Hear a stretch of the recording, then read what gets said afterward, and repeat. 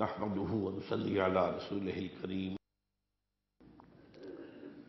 أما بعد فقد قال الله تبارك وتعالى كما ورد في سورة آل عمران أعوذ بالله من الشيطان الرجيم. بسم الله الرحمن الرحيم. إن أول بيت وضع للناس للذي ببكة مباركا وهدى للعالمين. فيه آيات بينات مقام إبراهيم ومن دخله كان آمنا ولله على الناس حج البيت من استطاع إليه سبيلا ومن كفر فإن الله غني عن العالمين وقال عز وجل كما ورد في سورة الحج وَلِكُلِّ أُمَّةٍ جَعَلْنَا مَنْسَكًا لِيَذْكُرُوا اسْمَ اللَّهِ عَلَى مَا رَزَقَهُم مِّن بَهِيمَةِ الْأَنْعَامِ فَإِلَٰهُكُمْ إِلَٰهٌ وَاحِدٌ فَلَهُ أَسْلِمُوا وَبَشِّرِ الْمُخْبِتِينَ الَّذِينَ إِذَا ذُكِرَ اللَّهُ وَجِلَتْ قُلُوبُهُمْ وَالصَّابِرِينَ عَلَى مَا أَصَابَهُمْ وَالْمُقِيمِ الصَّلَاةِ وَمِمَّا رَزَقْنَاهُمْ يُنْفِقُونَ والبدن جعلناها لكم من شعائر الله لكم فيها خير فاذكروا اسم الله عليها سواف فإذا وجبت جنوبها فكلوا منها وأطعموا القانع والمعتر كذلك سخرناها لكم لعلكم تشكرون لن ينال الله لحومها ولا دماؤها لن ينال الله لحومها ولا دماؤها ولكن يناله التقوى منكم. كذلك سخرها لكم لتكبروا الله على ما هداكم وبشر المحسنين. صدق الله العظيم.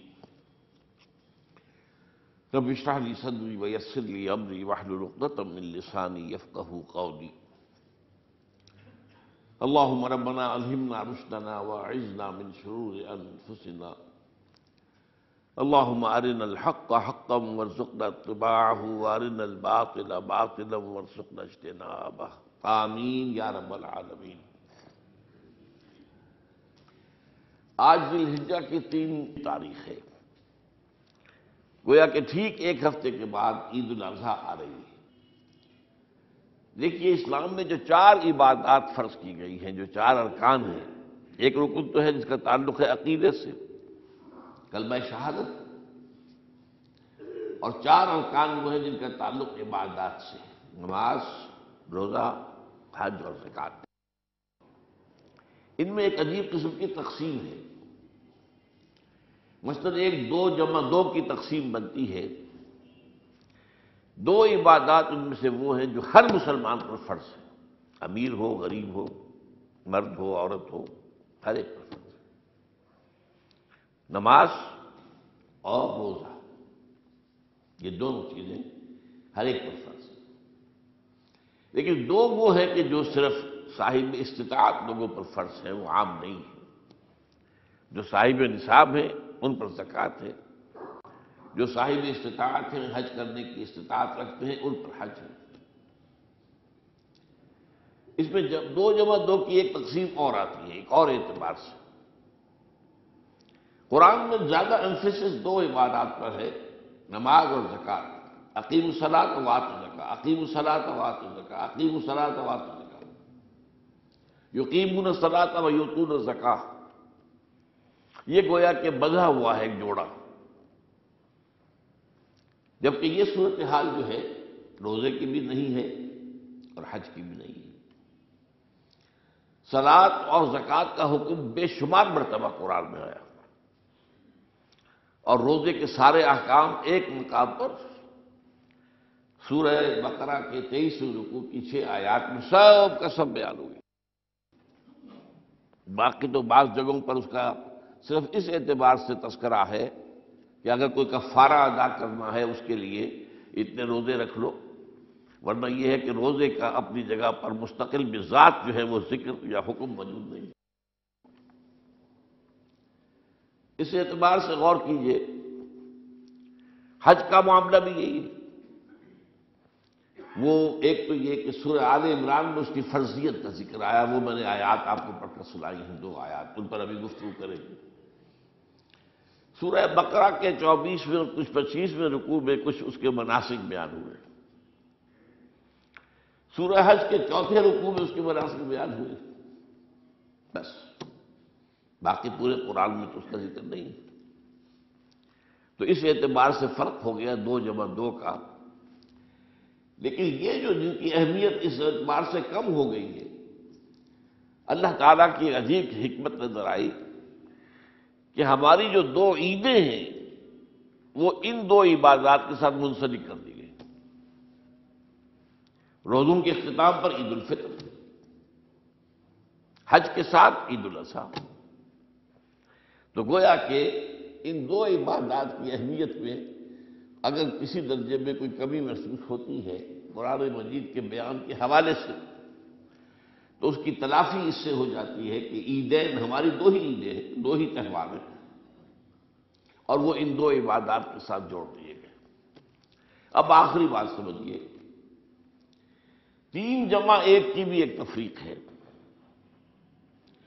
تین عبادات وہ ہیں جو موقت ہیں صرف یعنی معلق بالزمان، ان کا تعلق وقت کے ساتھ ہے۔ یہ نہیں کہ کسی خاص جگہ سے متعلق ہے۔ نماز ہر جگہ فرض ہے۔ ہاں البتہ اس کا وقت آئے گا۔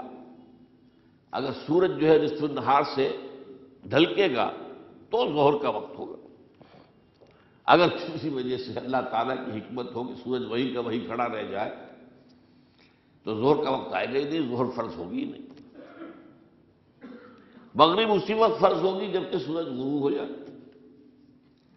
اگر کسی وجہ سے سورج غروب نہ ہو اور کیا پتہ یہ ساری باتیں جو ہے قیامت کا جو زلزلہ آنے والا ہے، اس میں یہ ساری ہی باتیں ہونے والی ہیں۔ سورج مغرب سے طلوع ہوگا، یہ تو وضاحت کے ساتھ کہا گیا ہے۔ تو مغرب کا وقت نہیں آئے گا۔ اسی طریقے سے رمضان کا مہینہ آئے گا تو روزے فرض ہوں گے۔ اس حوالے سے یہ زمانے کا تعلق تو ہے، لیکن کسی مکان سے کوئی تعلق نہیں۔ حج وہ ہے جس کے تقریباً تمام مناسک جو ہیں، وہ ایک خاص مقام پر ادا ہوتے ہیں۔ آپ سفر کر کے جائیے، مکہ مکرمہ جائیے، اللہ کے گھر کا طواف کیجیے، پھر وہاں سے جو بھی روانگی ہوتی ہے، یوم تربیہ آٹھ زدہ کو نکلیے اور جا کر بنا میں قیام کیجیے ایک رات۔ پھر نو کی صبح کو نکلے عرفات جائیے۔ عرفات میں شام تک قیام رہے گا۔ لیکن مغرب کی نماز کے وقت کے بعد وہاں سے نکلیں گے، مغرب وہاں پڑھیں گے نہیں۔ وہ جا کر مزدلفہ میں پڑھی جائے گی، عشاء کے ساتھ ملا کر، چاہے کتنی ہی دیر ہو جائے۔ بارہ یہ ساری چیزیں ایک خاص مقام کے ساتھ ہیں، منسلک ہیں، ہر جگہ پر یہ ادا نہیں ہو سکتا۔ اب اس میں دیکھیے حکمت نظر آ رہی ہے۔ کیونکہ حج جو ہے ایک خاص جگہ پر، ایک خاص مقام سے وابستہ ہے۔ اس کے ساتھ جو عید الاضحیٰ وابستہ کی گئی ہے، یہ گویا کہ حج ہی کے ایک رکن کو پھیلا دیا گیا ہے۔ قربانی جو مناسب کے حج میں بڑی اہمیت کی حامل ہے، اسے عام کر دیا گیا۔ تم مدینہ مکے تو نہیں پہنچ سکے ہو، لیکن یہاں پر قربانی کے اندر تو شریک ہو جاؤ۔ اور بعض مشابہتیں اور بتائی گئی ہیں کہ ذیل حج کا چاند طلوع ہو جائے تو اس کے بعد حجامت نہ کراؤ۔ ناخن نہ کاٹو۔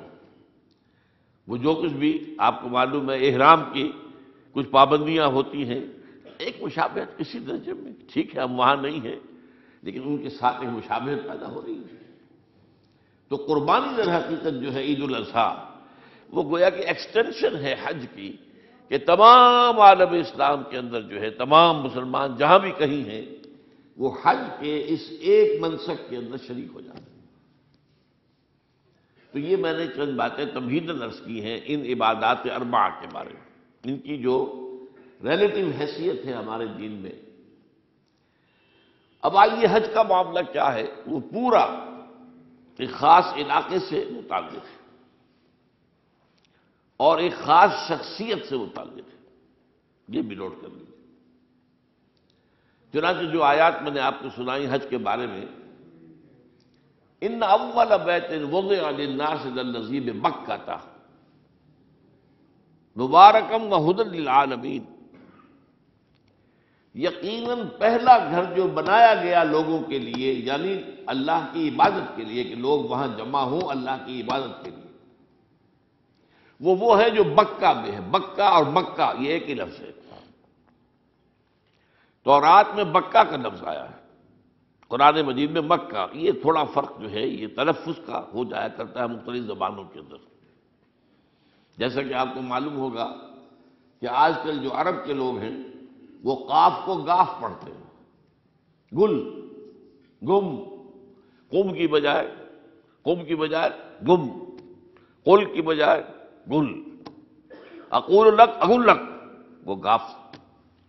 تو یہ جو ہے، فرق ہو جاتا ہے۔ تو بکہ وادی بکہ۔ یہ ہے در حقیقت مکہ مکرمہ۔ تو پہلا گھر جو بنایا گیا ہے، اور اس کے بارے میں جو یہ عام طور پر مشہور ہے کہ اس کے معمار حضرت ابراہیم ہیں، یہ بات صحیح نہیں ہے۔ اس کے معمار اول حضرت آدم علیہ السلام خود ہے اولا بیتن ہے نا، پہلا گھر۔ تو کیا یہ ممکن ہے کہ آدم سے لے کر ابراہیم تک کوئی گھر اللہ کی عبادت کے لیے بنا ہی نہ تو ناممکنات میں سے؟ اولا بیت میں خود دلیل موجود ہے۔ حضرت آدم علیہ السلام نے اس کی تعبیر کی۔ البتہ اس کے بعد بعض سیلابوں کی وجہ سے یہ عمارت گر گئی۔ اور کچھ جو وہاں پر آبادی بنی تھی، وہ بھی ختم ہو گئی۔ تو ایسے آتے ہیں، آپ کو معلوم ہے کہ یمن میں جب ان کا ایک بند ٹوٹا تھا بہت بڑا سد معارم، تو پھر وہاں جو اتنی خوشحالی تھی اور جو وہاں پر جو باغات تھے اور جو کھیتیاں سب برباد ہو گئی۔ اور وہاں سے لوگ جو ہے نقل مکانی کرنے پر مجبور ہو گئے۔ یہی یمن کے قبائل تھے جو جا کر شام اور عراق میں آباد ہوئے۔ یہی یمن کے دو قبیلے تھے جو مدینے میں آ کر آباد ہوئے، اوس اور خزرج، یہ یمن کے قبیلے تھے۔ تو اس بند کے ٹوٹنے کے بعد، اگر خدا نہ خواستہ، خدا نہ خواستہ، خدا نہ خواستہ اگر ہمارا تربیلا ڈیم ٹوٹ جائے، کیا ہوگا؟ پچھلے دنوں خبریں آئی ہیں اخبارات میں کہ ہندوستان میں غور ہو رہا ہے اس پر کہ تربیلا ڈیم کو اڑا دو۔ وہ سوچتے ہیں پاکستان کو ختم کرنے کی سبیل کیا ہو سکتی ہے؟ تو بڑی سمپل ہے اور بڑا آسان کام، بمبارڈمنٹ کر دینا جو ہے ٹھیک ہے، ان کا جہاز آئیں کچھ کو ہم گرا بھی لیں گے، لیکن کچھ تو آ کر جو ہے وہاں پر وہ اپنے بم جو ہے وہ ہدف کے اوپر گرا جائیں گے۔ کیا ہوگا؟ یوں سمجھیے کہ جو سونامی کا آیا تھا سیلاب، وہ سونامی کا سیلاب آئے گا بھارت، پاکستان کے اوپر۔ اور ہر چیز تباہ برباد ہو جائے کم سے کم یوں سمجھیے کہ تقریباً سو میل کی چوڑائی میں اور یہ سب جو ہے ریگستان بن جائے گا، ہر چیز ختم ہو جائے گا خدا نہ خواستہ خدا نہ خواستہ دوبارہ سند معارف کے بعد یہ صورتحال واقع ہوئی تھی۔ تو اس کے بعد سے یہ جو ہے جو ہے، یہ اللہ کا گھر یہ جو ہے گرا ہوا تھا۔ اس کی کوئی اب صرف یہ کہ قواعد رہ گئے تھے۔ قواعد کہتے ہیں جو بنیادیں ہوتی ہیں۔